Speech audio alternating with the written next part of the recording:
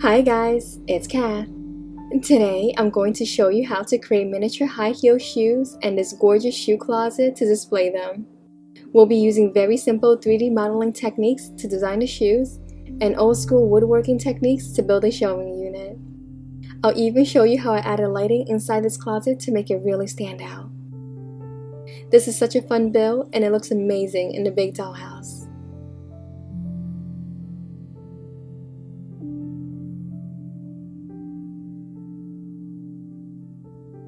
Let's jump right into it. To build the closet, I'll be using these wood slats as the main structure. They're 7 inches high by 3 inches wide and a quarter inch thick. For the side panels, I'm using 3 quarter inch wide craft sticks. Combine two of them for thickness.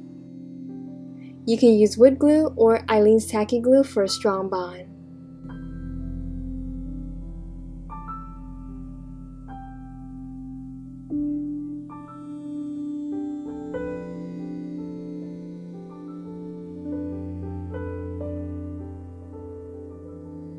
I'll add one to each side of the slat. But first, I need to trim off the rounded ends.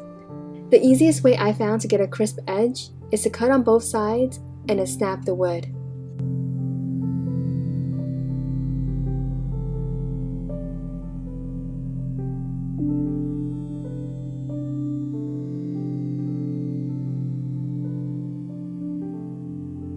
Because I want this closet to span an entire wall, I'll be adding a slat to the sides to make it wider.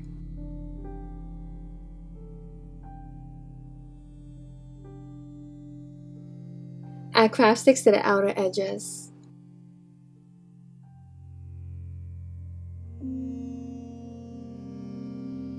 Then cut a few shorter lengths to close up the top and bottoms.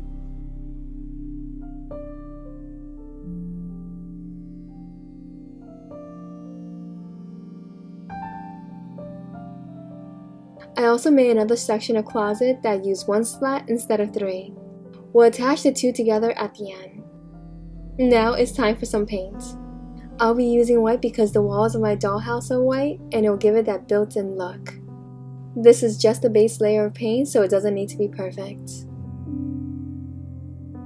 This closet will have clear shelves that will sit on little brackets. To make those, I first make marks 1 inch apart which translates to about a foot in real life. Then I trim some small segments from a coffee stirrer and place them on those marks. These will be the brackets that our shelves will sit on.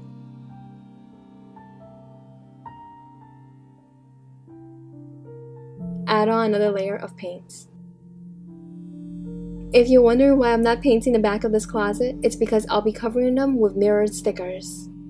This will give the closet so much more dimension and make the room that it sits in look much bigger. Just cut a piece to size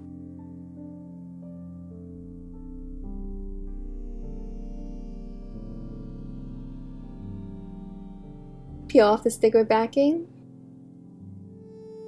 and then press it into place. This blue protective film peels right off to reveal the gorgeous mirror.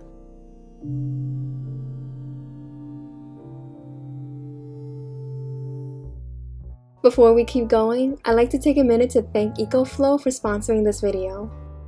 They recently sent me their Delta 2 portable power station to try and it has been so helpful for my projects. It has six outlets, USB ports, USB-C ports, and even a car charging port.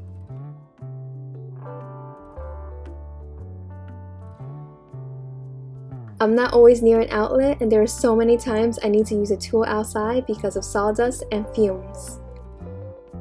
This power station allows me to take my tools outside and work for hours on end without worrying about how far I am from a wall outlet. Most of the time, I keep this power station in my studio to charge my computer and my phone while I'm working on a project. It sits on the table right next to me, so I have a steady power source for all my electronics and my tools. Because you can directly use various types of plugs, you don't need to mess around with these adapters that we all have too many of and often lose.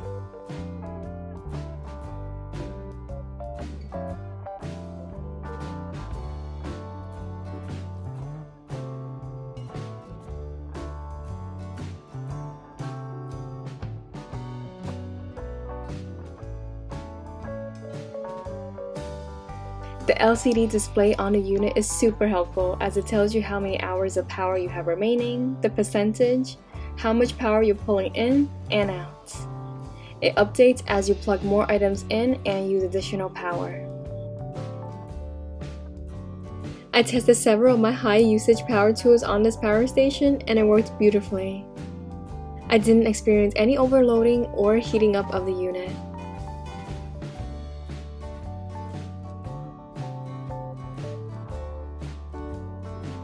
It also connects to my phone so I can tell how much power is being used and how much is left. Funny enough, one of the things I use this machine for is to power up other batteries. Mostly camera batteries because I run out of juice so fast while I'm filming.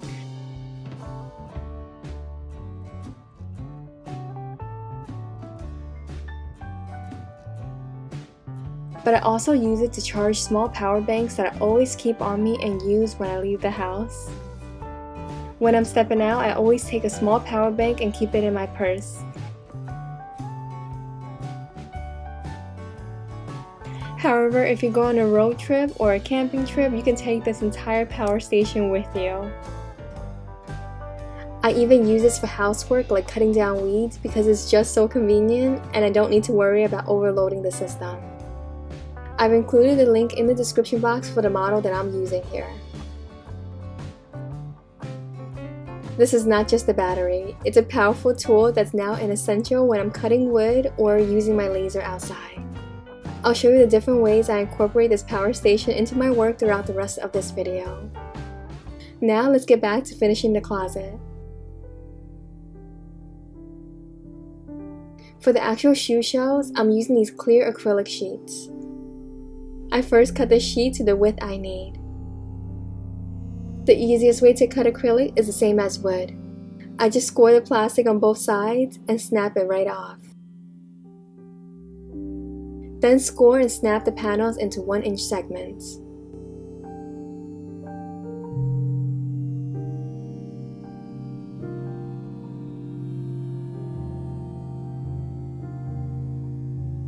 We'll need 5 shelves for each of the 4 sections.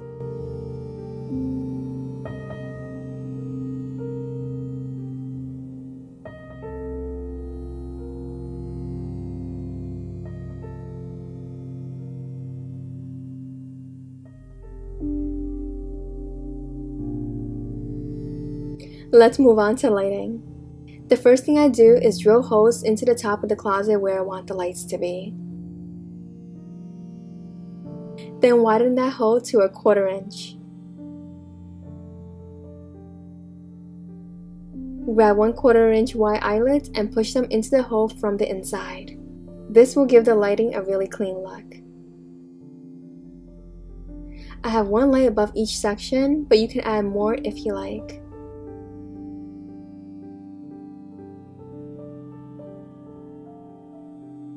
I glue the smaller closet at a 90 degree angle to the big one.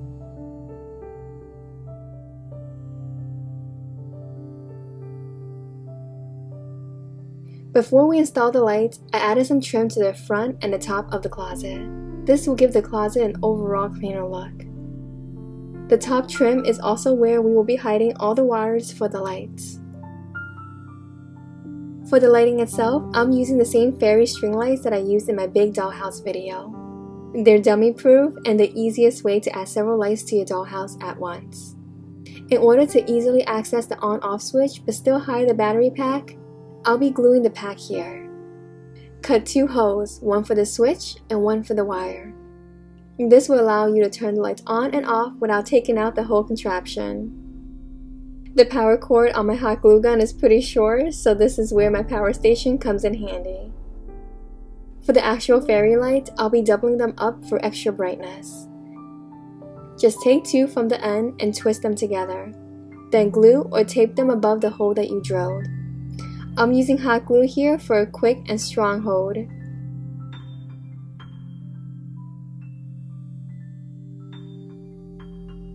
It may look messy here, but don't worry, this will all be covered up. Let's slide this beauty into the dollhouse room to complete the structure. I add craft sticks painted white to the exterior sides and to the bottom to close off the gap.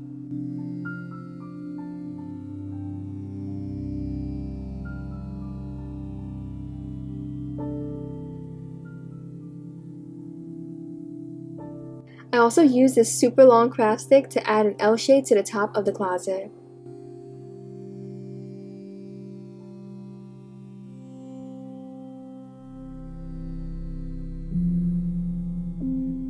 I cut more lines from that stick to place above the wires. These pieces just sit in place without being glued in because we'll need to remove it to access the on-off switch. However, I did glue the segments together and added reinforcement.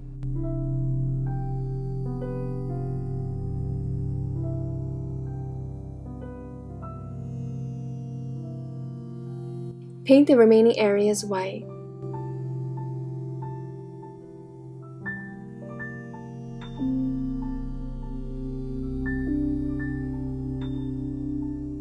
It's always so incredible to me how paint can tie a miniature piece together. While the closet is in the dollhouse, let's complete the trim. Putting it inside the dollhouse to do this ensures that everything lines up perfectly with no gaps at all.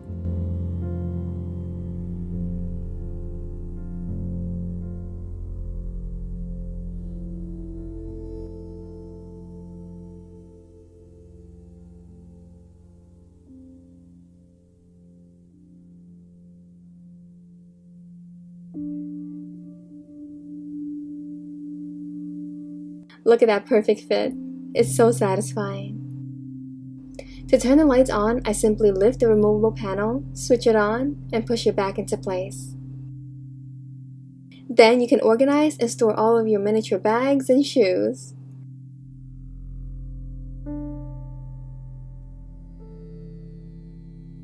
Speaking of shoes, let's design the heels that we talked about.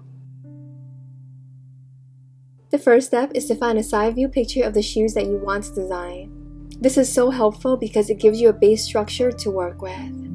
I found this simple silhouette of a heel and saved the image.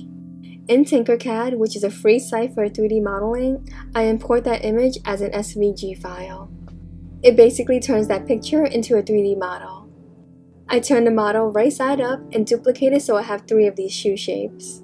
The center one is my guy, and the side ones are actually the sides of the shoe. I add this rounded cone to the front of the toe area and cut away the red sides. Then I add a ball shape to the back heel and remove the extra material. I'm basically just adding shapes to match the base structure that we imported. If it feels like I'm speeding through this part, it's because I am. So much of this process is just playing around with shapes to see what fits best and then smoothing out the shoe as much as possible. I will admit that there is other software that makes these steps simpler, but Tinkercad is by far the most beginner friendly and intuitive. So be patient and you'll get there. Once your design is complete, you can print it. I'll be using my resin printer today because it does amazing with tiny details plug her in, and power her up. Resin can be really messy and the fumes might bother those who are sensitive to smells, so it's worth doing this outside if you can. Pour some resin into the basin and start the print.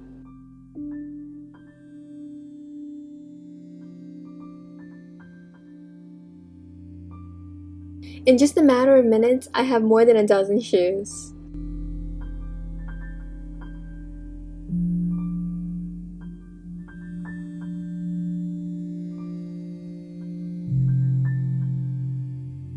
I wash all the excess resin off with 90% isopropyl alcohol and then cure it in my light machine.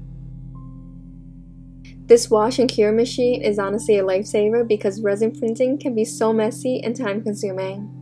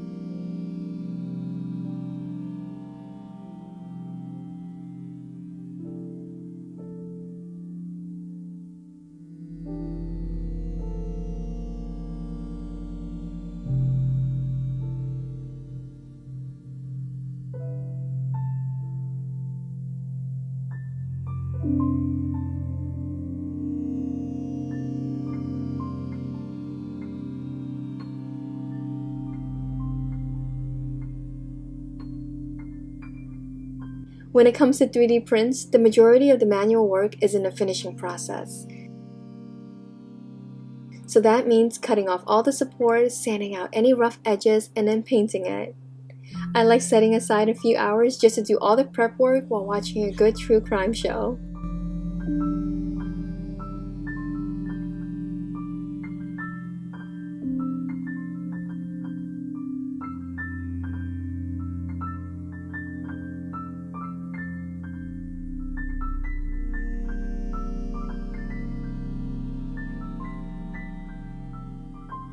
Once the pieces are sanded, it's time for paint. For the inside soles, I'll be using my airbrush. It's the easiest way to get a flawless paint job.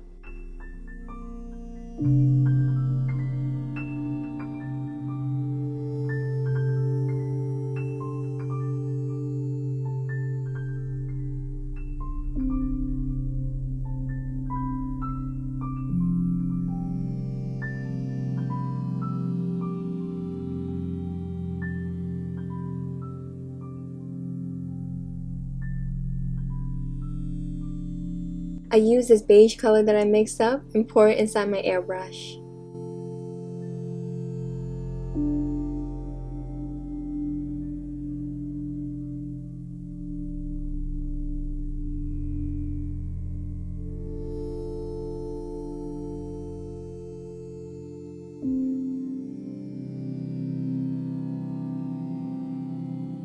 Airbrushing is easy, but it's not as fun as hand painting the outside of the shoes. This is where you can get really creative with paint color, texture, graphics, and even the finish.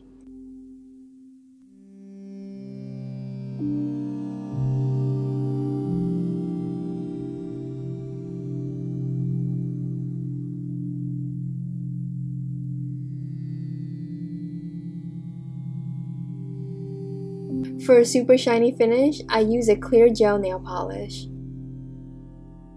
You can also use glitter polish or decals. There is really no limit but your imagination.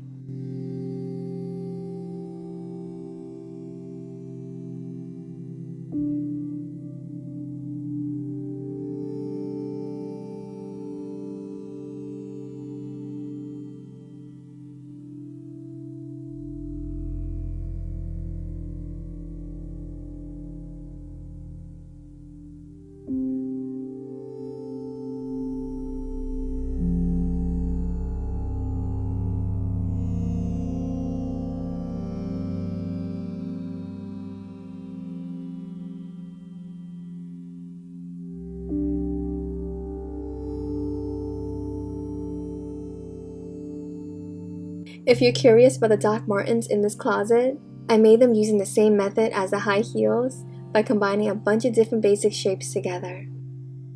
Again, it's a time consuming process, but you only need to design it once, and then you can print thousands of copies.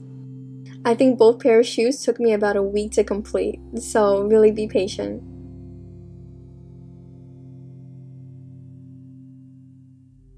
That's it guys, I hope you enjoyed today's video and learned something new. I had so much fun working on this project and cannot wait to design a closet for clothing. I'll see you next time. Bye.